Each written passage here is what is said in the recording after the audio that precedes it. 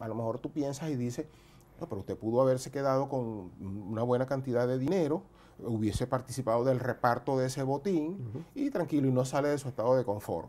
¿Y cómo, voy a, cómo, cómo, me voy a sentir yo cuando veo niños que se están muriendo en hospitales por falta de un medicamento?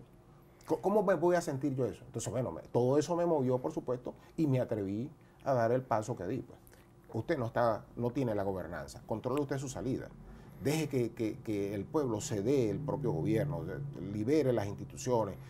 Y usted no va a ganar, eso no se lo dije, por supuesto, pero eso era, yo esperaba que él me preguntara y que se generara el debate y que y cuando él me preguntara yo le decía, mira, usted no va a ganar y no conviene que sea usted el que esté al frente, ponga otro que va a perder también, deje que participen todos los factores, este, todos los actores políticos, dejen que haya, que haya el ejercicio de la democracia real y verdadero, tal y cual como está contemplado en nuestra Constitución.